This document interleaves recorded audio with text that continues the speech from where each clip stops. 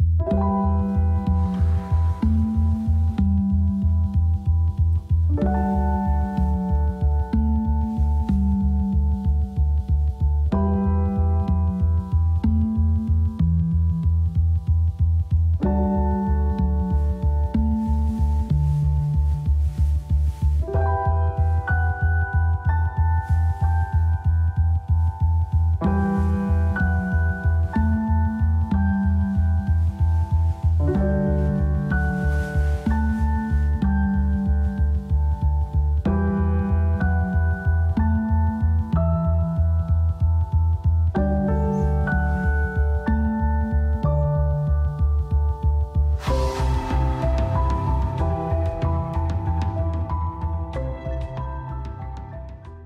Today, I am going to go to some bookshops and hopefully find some books that you all recommended to me on my autumn recommendations video.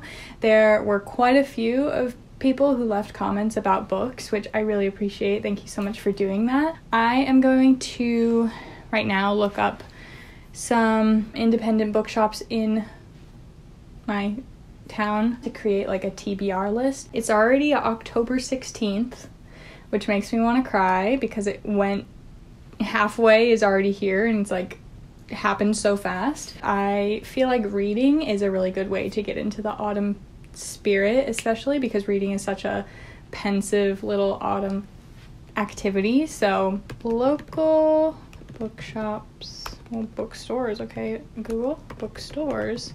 Whoa, okay, let's see. They all look like they are open.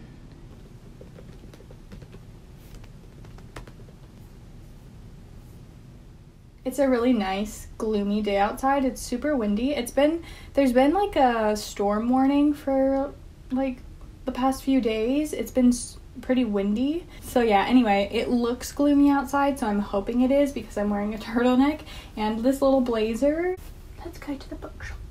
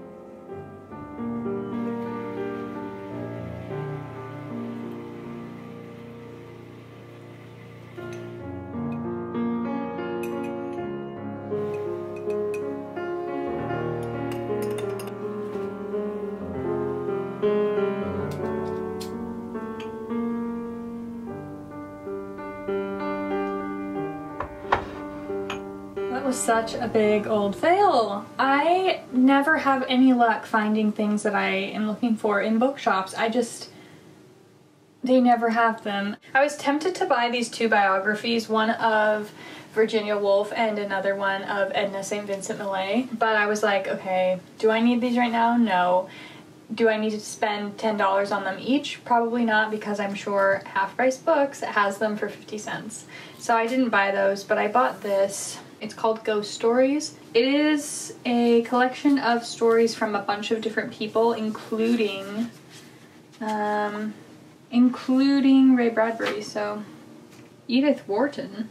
The Happy Autumn Fields. I want to know what that is. They're all pretty short, maybe like 20 to 50 pages. I just thought it might be fun to have a little ghost stories book like this. They gave me a bookmark and it has a picture of the cat that lives there and his name is Orlando. He actually kind of looks like this cat on here but not mean. He was super nice. He was like following me around. And he was like staring at walls too. I was like, are you okay?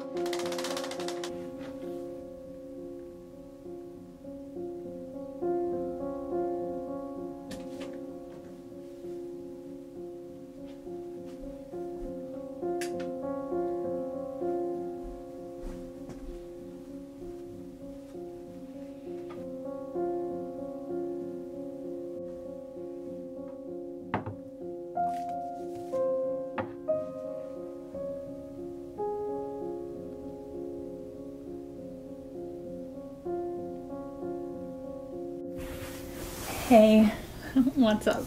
I need to put socks on, even though I already have tights on because it's freezing in my house. Yes, I'm wearing tights underneath pants. And yes, I'm wearing socks over top of tights. I'm very uncomfortable when my appendages are cold. I have my hot tea, of course. I always have tea. It's steaming right now, but it's only warm and I like when my tea scalds me, so we'll have to heat that up in a second. I also brought like little snacks up here. Tart Raspberry Dark Chocolate. This is from Endangered Species Chocolate. 10% of net profits to save our wildlife. This specific um, raspberry flavor is for the brown bear. That's really cool. And it's fair trade and this one is vegan. So I have my my stack of books. I have two stacks of books actually. I will turn them into one and I'm going to show you and it's a lot. I just kind of like binged bought books because binged box books um, okay, yeah, I kind of went crazy. You all left so many recommendations, and I was just basically trying to like search for all of them in every bookstore that I went to, and I wasn't having much luck. So when I finally did come across them, I just felt like I needed to cherish them and purchase them all, even though I'm not a fast reader and I'm probably not gonna get around to reading all of these right now. Anyway, let me go through. I have such bad posture. I hope you can still see me if I'm sitting up. Let me make sure you can still see me. Alright, so I'll just go through every book one by one. The first book that I got is this one called Ghost Stories, and it is edited by, let's see, edited by Peter Washington, and it looks like this. I actually haven't looked at what it looks like without the sleeve on it. I'm curious. Whoa. It looks like a classic. And it's like cloth or something. It feels so nice. I didn't even know this. I saw this. I've seen this many times before and I'm like, that's pretty, pretty, pretty looking. It's got like black pages. Not not inside, just like the sides. Yeah, this is Dracula by Bram Stoker and whoa very pretty i've never read dracula before i know many people say it's very good and i would love to read this would love love love to read this this one's a little bit shabby looking it's called a great and terrible beauty by libba bray libba libba bray why does that sound wrong right now yeah it's got like stickers on the front of it which i need to try and get off I'm sure they come off easily because, yeah. Um, but apparently whoever had this last wasn't very careful with the stickers, so. Don't know anything about this book. Oh my gosh. I, the, the summary on the back of it though, the first sentence, Gemma Doyle isn't like other girls. Is this a joke? Girls with impeccable manners who speak when spoken to. I'm not to read the summary, I'll read the book. I purchased kind of like young adult books because I feel like if you are in a reading slump or if you have trouble continuously reading and like making it a habit, I think reading young adult books is a really good thing to do. Not really exhausting, you know, like you don't have to think too hard about them. They're just really entertaining and really like a nice piece of work. This is a movie that I've seen. Nope. Okay, the, the, the sticker's not coming off of there. This is a movie I've seen, and I've heard a lot about this book before the movie came out, um, and I wanted to read it then, but then I saw the movie and I was like, eh. But somebody told me Miss Peregrine's Home for Miss Peregrine's Home for Peculiar Children.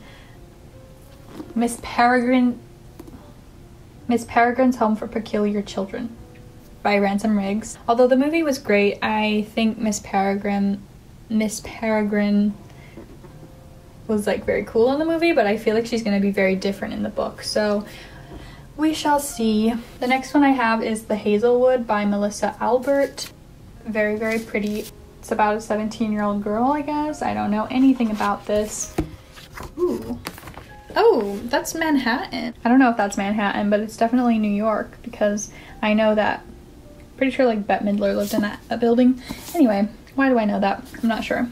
I don't know if you can see like this embossed detail right here. That's a building in New York. It's like on a it's like on a street that goes like this. But I'm pretty sure Bette Midler used to live in there. I don't know. Pretty sure. I actually prefer paperback books, and this one's also hardback. This is called The Dark Tide by Alicia Jasinska. This one really got me because on the back it says The Witch Queen comes on wings of night. And it has like a whole little poem on the back. And it said Witch Queen, so I was like, yep, getting that one. I'm feeling like maybe I'll read this one after Something Wicked This Way Comes. I was overwhelmed with excitement when I saw this on the shelf. I was like, that's thank you. Because I have been looking for Ray Bradbury at every single store, and either they don't have any of his books or they have like Fahrenheit or something about The Martian or The Illustrated Man, which I'm sure are all great books, but they are not the ones that I was looking for. I'm looking for the fall, like Something Wicked This Way Comes, The October Country, um, From the Dust Returned. I was looking for those and I could not find them. I'm gonna read this one first because I'm very excited about it. I have no idea what any of these books are about. Not a clue. I'm going in blind. I'm going in with a fresh perspective. No, just that. That's it. And then the last book that I got is thankfully also a paperback which is Six of Crows by Leigh Bardugo. Is this a series and is this the first book? I really hope this is the first book. Yes, those are all my books.